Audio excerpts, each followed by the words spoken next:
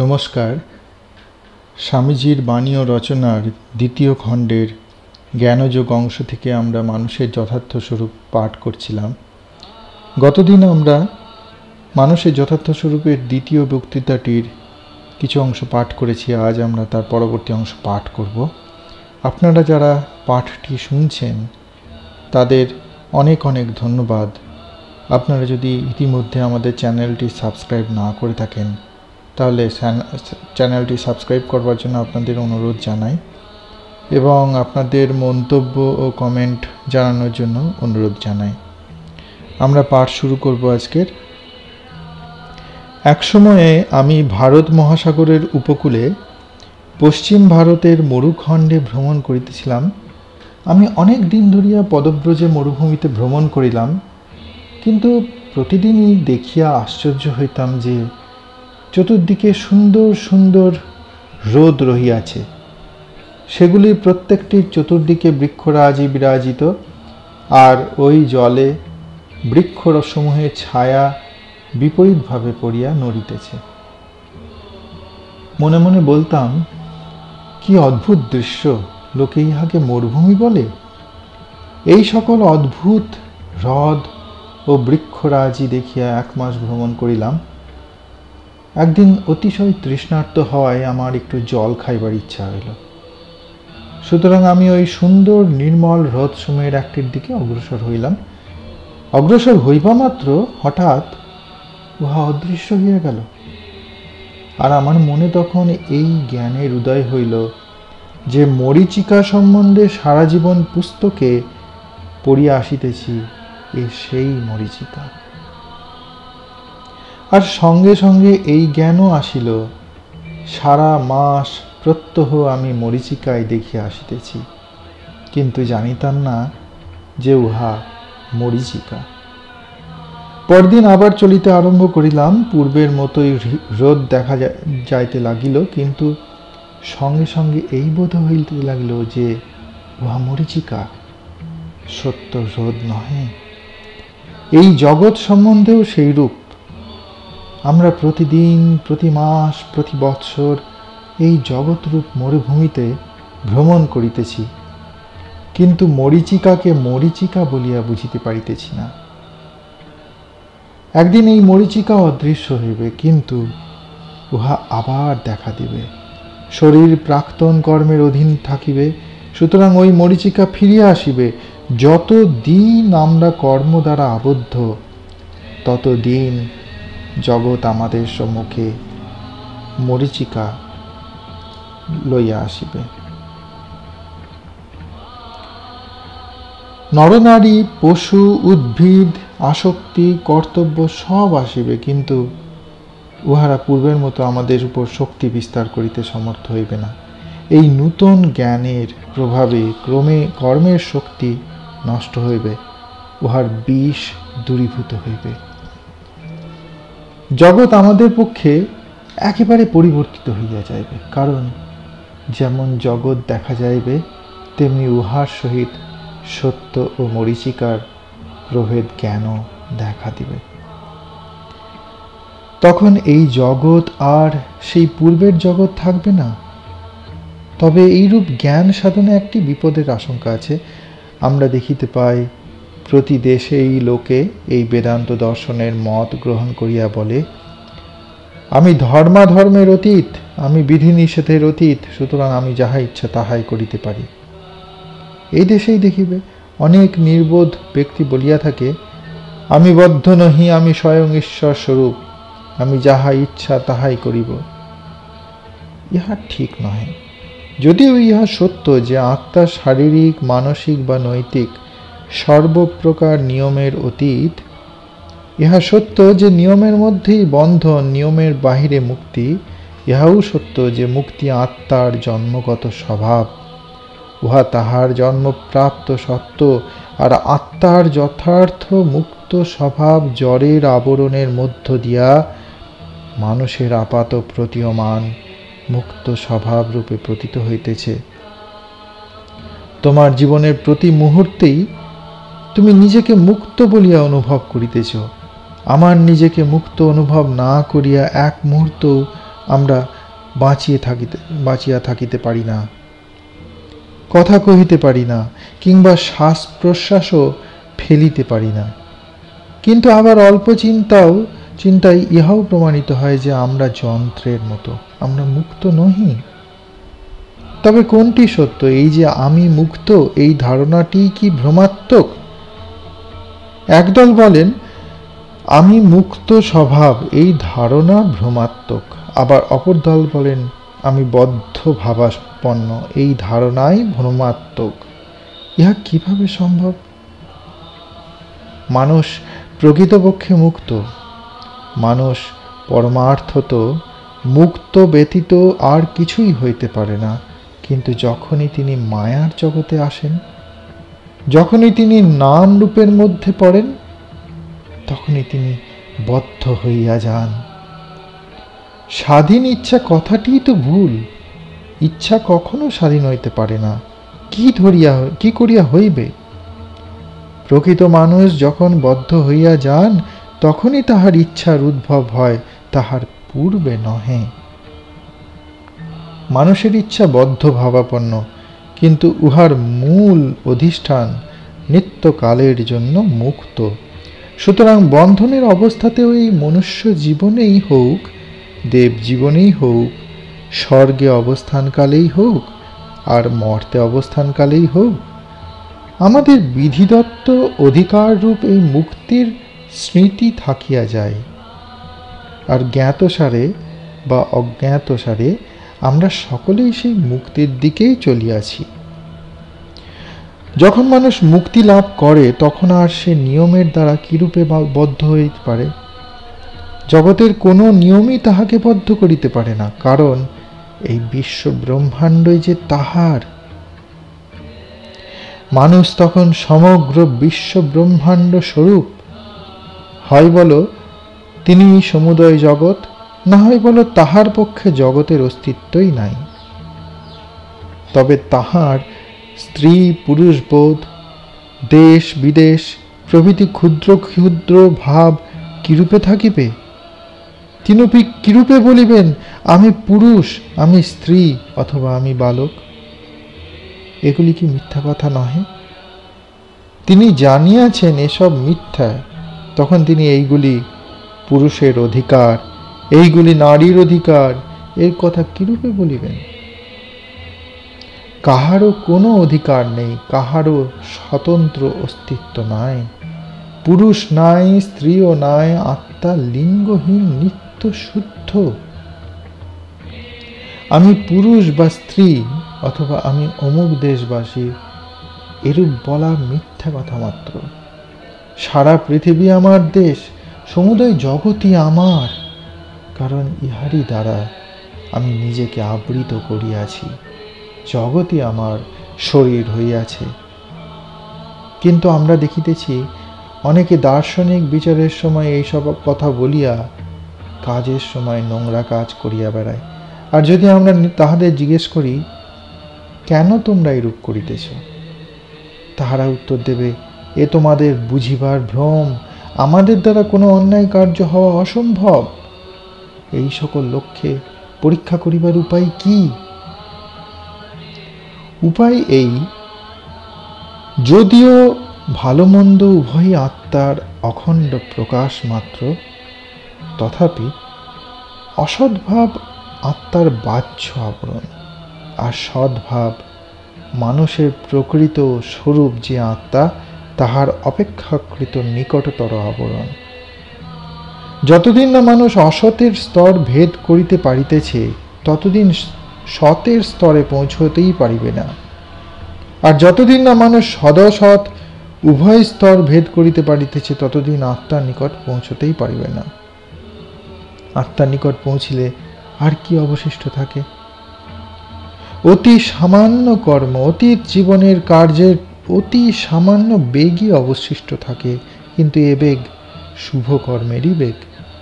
যতদিন না অসৎ কর্মের গতিবেগ একেবারে রহিত হইয়া যাইতেছে, যতদিন না পূর্বের অপবিত্রতা একেবারে দগ্ধ হইয়া যাইতেছে, ততদিন কোনো ব্যক্তির পক্ষে সত্যকে প্রত্যক্ষ দর্শন ও উপলব্ধি করা অসম্ভব।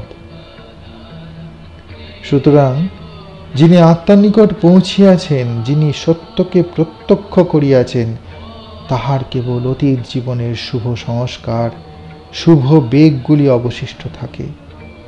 শরীরে বাস করিলেও এবং অনবরত কর্ম করিলেও তিনি কেবল সত্য সৎকর্মই করিয়া থাকেন। তাহার মুখ সকলের উদ্দেশ্যে কেবল আশীর্বাদ বর্ষণ করে। তাহার হস্ত কেবল সৎ কার্যই করিয়া থাকে। তাহার মন কেবল সৎ চিন্তা করিতেই সমর্থ। তাহার উপস্থিতি তিনি যেখানেই যান না কেন সর্বত্র মানব জাতির মহা কল্যাণকর এরূপ ব্যক্তির দ্বারা কোনো অসৎকর্ম কি করে সম্ভব? তোমাদের স্মরণ রাখা উচিত, প্রত্যক্ষানুভূতি ও শুধু মুখে বলার মধ্যে আকাশ পাতাল প্রভেদ। অজ্ঞান ব্যক্তিও নানা জ্ঞানের কথা বলিয়া থাকে, তোতা পাখিও ওইরূপ বকিয়া থাকে। মুখে বলা এক উপলব্ধি আর এক? দর্শন, মতামত, বিচার, শাস্ত্র, মন্দির, সম্প্রদায় প্রভৃতি কিছুই মন্দ নয়, কিন্তু এই প্রত্যক্ষানুভূতি হইলে ও সবার থাকে না। মানচিত্র অবশ্য উপকারী, কিন্তু মানচিত্রে অঙ্কিত দেশ প্রত্যক্ষ করিয়া আসিয়া তারপর আবার ওই সেই মানচিত্রের দিকে দৃষ্টিপাত করো, তখন দেখিবে কত প্রভেদ। সুতরাং যাহারা সত্য উপলব্ধি করিয়াছেন, তাহাদিগকে আর উহা বুঝিবার জন্য যুক্তি, তর্ক, প্রভৃতি, মানসিক ব্যায়ামের আশ্রয় লইতে হয় না। উহা তাহাদের মর্মে মর্মে প্রবিষ্ট হইয়াছে, উহা তাহাদের জীবনের জীবন। বেদান্তবাদীর ভাষায় বলিতে গেলে, বলিতে হয়, উহা যেন তাহার করামল করামলকবৎ হইয়াছে।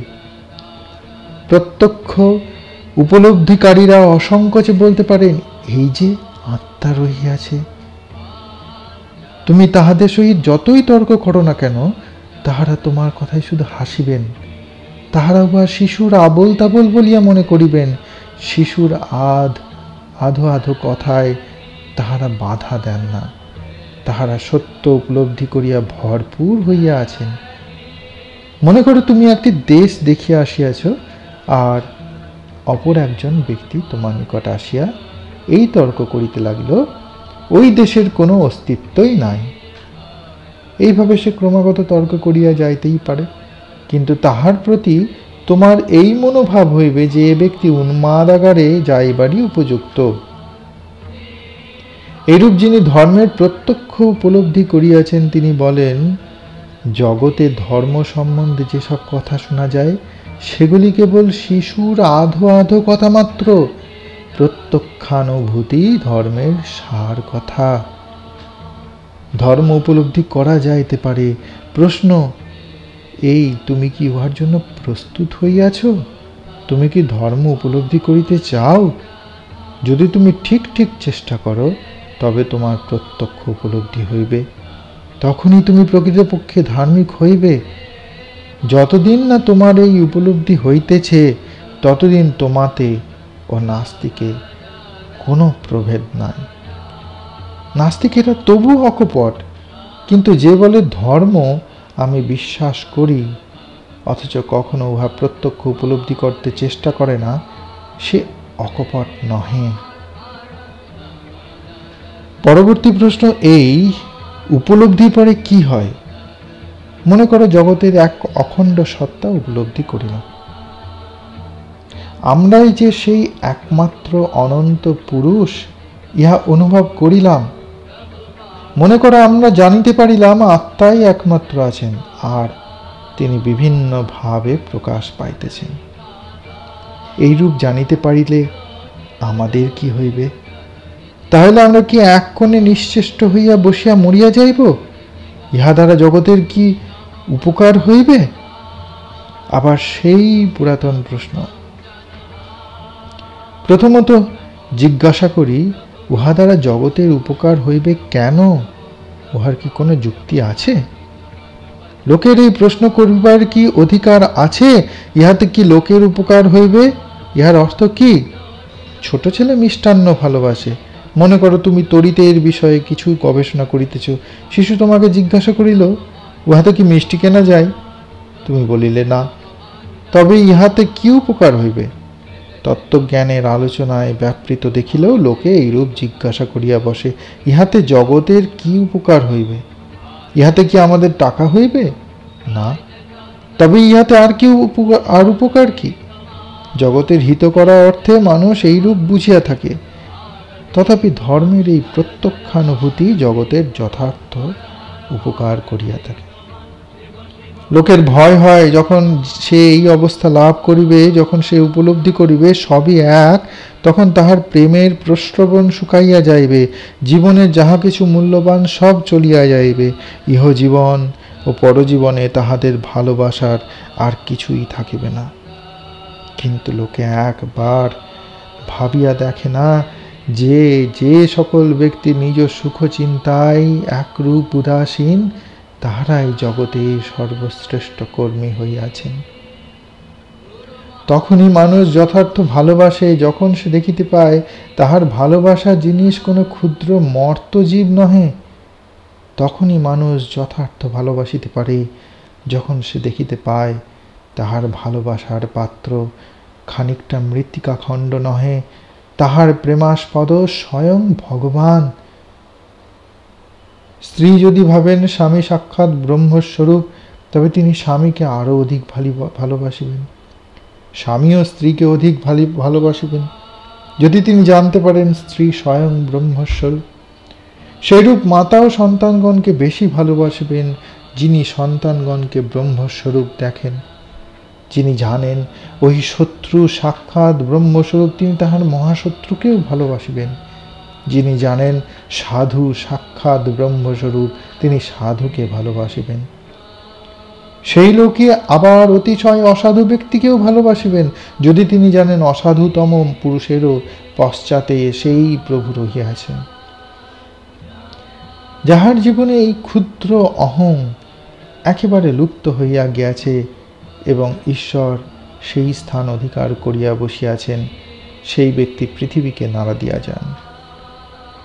তাহার নিকট সমুদায় জগৎ সম্পূর্ণ অন্যভাবে প্রতিভ্রাত হয়। দুঃখকর, ক্লেশকর যাহা কিছু সবই চলিয়া যায়, সকল প্রকার গোলমাল, দ্বন্দ্ব মিঠিয়া যায়। যেখানে আমরা প্রতিদিন এক টুকরা রুটির জন্য মারামারি করি, সেই জগৎ তখন তাহার পক্ষে কারাগার না হইয়া ক্রীড়া ক্ষেত্রে পরিণত হইবে। তখন জগৎ কি সুন্দর ভাবিনা ধারণ করিবে? এইরূপ ব্যক্তিরই কেবল বলিকার বলবার অধিকার আছে। এই জগৎ কি সুন্দর। তিনি কেবল বলিতে পারেন, সবই মঙ্গল স্বরূপ এইরূপ প্রত্যক্ষ উপলব্ধির হইতে জগতের এই মহৎ কল্যাণ হইবে যে, সকল বিবাদ গণ্ডগোল দূর হইয়া পৃথিবীতে শান্তির রাজ্য স্থাপিত হইবে। যদি সকল মানুষ আজ এই মহান সত্যের এক বিন্দুও উপলব্ধি করিতে পারে, তাহলে সারা পৃথিবী আর এক রূপ ধারণ করিবে। অন্যায়ভাবে তাড়াতাড়ি অপর সকলকে অতিক্রম করিবার প্রবৃত্তি জগৎ হইতে চলিয়া যাইবে, উহার সঙ্গে সঙ্গেই সকল প্রকার অশান্তি, সকল প্রকার ঘৃণা, সকল প্রকার ঈর্ষা, সকল প্রকার অশুভ চিরকালের জন্য চলিয়া যাইবে। তখন দেবতারা এই জগতেই বাস করিবেন, তখন এই জগতই স্বর্গ হইয়া যাইবে। আর যখন দেবতায় দেবতায় খেলা, যখন দেবতায় দেবতায় কাজ, যখন দেবতায় দেবতায় প্রেম, তখন কি আর অশুভ থাকিতে পারে? ঈশ্বরের প্রত্যক্ষ উপলব্ধির এই মহা সুফল। সমাজে তোমরা যাহা কিছু দেখিতেছ, সবই তখন পরিবর্তিত হইয়া অন্যরূপ ধারণ করিবে। তখন তোমরা মানুষকে আর খারাপ বলিয়া দেখিবে না। ইহাই প্রথম মহালাভ। তখন তোমরা আর কোনো অন্যায়কারী, দরিদ্র নরনারীর দিকে ঘৃণার সহিত দৃষ্টিপাত করিবে না। হে মহিলাগণ, যে দুঃখিনী নারী রাত্রিতে পথে ভ্রমণ করিয়া বেড়ায়, আপনারা আর তাহার দিকে ঘৃণাপূর্বক দৃষ্টিপাত করিবেন না, কারণ আপনারা সেখানেও সাক্ষাৎ ঈশ্বরকেই দেখিবেন। তখন আপনাদের মনে আর ঈর্ষা বা অপরকে শাস্তি দিবার ভাব উদিত হইবে না ওই সবই চলিয়া যাইবে। তখন প্রেম এত প্রবল হইবে যে মানব জাতিকে সৎ পথে পরিচালিত করিবার জন্য আর চাবুকের প্রয়োজন হইবে না। যদি পৃথিবীর নরনারীগণের লক্ষ্য ভাগের এক ভাগ শুধু চুপ করিয়া বসিয়া খানিক্ষণের জন্য বলেন তোমরা সকলেই ঈশ্বর। হে মানবগণ, পশুগণ, সর্বপ্রকার প্রাণীগণ, তোমরা সকলেই এক জীবন্ত ঈশ্বরের প্রকাশ। তাহা হইলে আধ ঘণ্টার মধ্যেই সমুদয় জগৎ পরিবর্তিত হইয়া যাইবে। তখন চতুর্দিকে ঘৃণার বীজ নিক্ষেপ না করিয়া ঈর্ষা ও অসৎ চিন্তার প্রবাহ বিস্তার না করিয়া সকল দেশের লোকেই চিন্তা করিবে, সবই তিনি। যাহা কিছু দেখিতেছ বা অনুভব করিতেছ, সবই তিনি। তোমার মধ্যে মন্দ না থাকিলে তুমি কেমন করিয়া মন্দ দেখিবে? তোমার মধ্যে চোর না থাকিলে তুমি কেমন করিয়া চোর দেখিবে?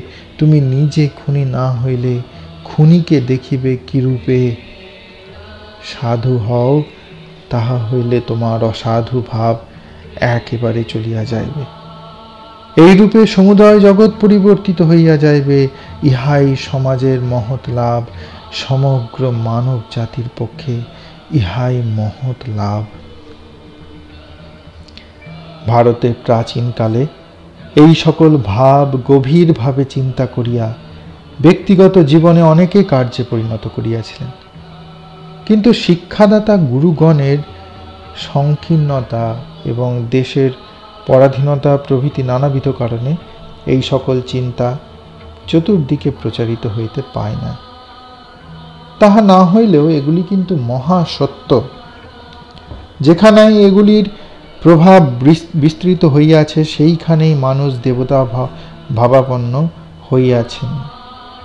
এইরূপ একজন দেব প্রকৃতির মানুষের দ্বারা আমার সমুদয় জীবন পরিবর্তিত হইয়া গিয়াছে।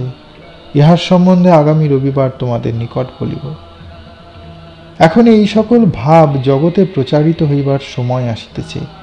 মঠে আবদ্ধ না থাকিয়া কেবল পণ্ডিতদের পাঠের জন্য দার্শনিক গ্রন্থগুলিতে আবদ্ধ না থাকিয়া কেবল কতকগুলি সম্প্রদায়ের এবং কতকগুলি পণ্ডিত ব্যক্তির একচেটিয়া অধিকারে না থাকিয়া ওইগুলি সমুদয় জগতে প্রচারিত হইবে।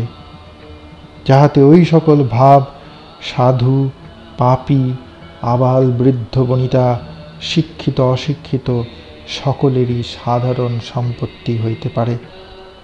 তখন এই সকল ভাব জগতের বায়ুতে খেলা করিতে থাকিবে আর আমরা শ্বাস প্রশ্বাসে যে বায়ু গ্রহণ করিতেছি, তাহা প্রত্যেক তালে তালে ধ্বনিত হইবে। তত্ত্বমেশী এই অসংখ্য চন্দ্র সূর্যপূর্ণ সমুদয় ব্রহ্মাণ্ডে ভাষণক্ষম প্রত্যেক জীবের কণ্ঠে সমস্বরে উচ্চারিত হইবে তত্তমসী পাঠ করলাম, মানব, মানুষের যথার্থ স্বরূপ সম্বন্ধে স্বামীজির দেওয়া দ্বিতীয় বক্তৃতাটি। এর সাথেই এই বক্তৃতাটি আজ শেষ হলো। আগামী দিন আমরা এর পরের যে বক্তৃতা, মায়া ও ঈশ্বর ধারণার ক্রমবিকাশ। এই বক্তৃতাটি লন্ডনে দেওয়া হয়েছিল কুড়ি বিশে অক্টোবর আঠেরোশো ছিয়ানব্বই সালে। সেই বক্তৃতাটি আমরা পাঠ করব।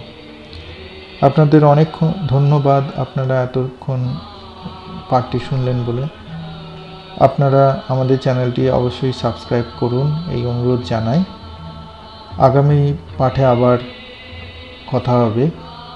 নমস্কার।